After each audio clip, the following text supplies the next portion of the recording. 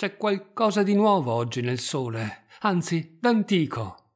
Io vivo altrove e sento che sono intorno nate le viole. Sono nate nella selva del convento, dei cappuccini, tra le morte foglie che al ceppo delle querce agita il vento. Si respira una dolce aria che scioglie le dure zolle e visita le chiese di campagna che erbose hanno le soglie. Un'aria d'altro luogo e d'altro mese e d'altra vita, un'aria celestina che regga molte bianche ali sospese. Sì, gli aquiloni. È questa una mattina che non c'è scuola. Siamo usciti a schiera, tra le siepi di rovo ed albaspina.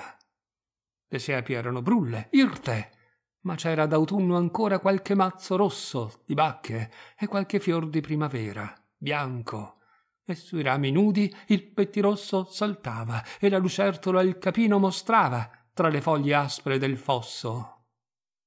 Ora siam fermi, abbiamo in faccia Urbino ventoso, ognuno manda da una balza la sua cometa per il ciel turchino.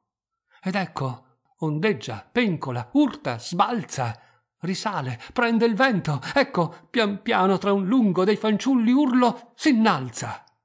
S'innalza e ruba il filo dalla mano, come un fiore che fugga sullo stelo, esile, e vada a rifiorir lontano.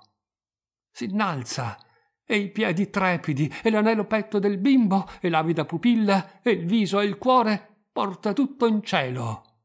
Più su, più su, già come un punto brilla, lassù, lassù. Ma ecco, una ventata di sbieco, ecco uno strillo alto. Chi strilla?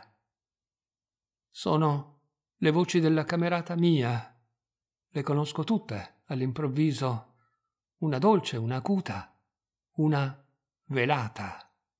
Ad uno ad uno, tutti, vi ravviso, o miei compagni. E te, sì, che abbandoni sull'omero il pallor muto del viso. Sì, dissi sopra te l'orazioni, e piansi, eppur felice te, che al vento non vedesti cader che gli aquiloni. Tu eri tutto bianco, io mi rammento, solo avevi del rosso nei ginocchi per quel nostro pregar sul pavimento. Oh, te felice, che chiudesti gli occhi, persuaso, stringendoti sul cuore il più caro dei tuoi cari balocchi. Oh, dolcemente, so ben io, si muore, la sua stringendo fanciullezza al petto, come i candidi suoi petali un fiore ancora in boccia. Oh morto giovinetto, anch'io presto verrò sotto le zolle, là, dove dormi placido e soletto.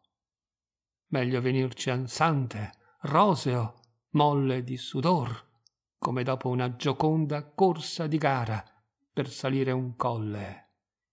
Meglio venirci con la testa bionda, che poi che fredda giacque sul guanciale, ti pettinò, coi bei capelli a onda, tua madre, adagio, per non farti male.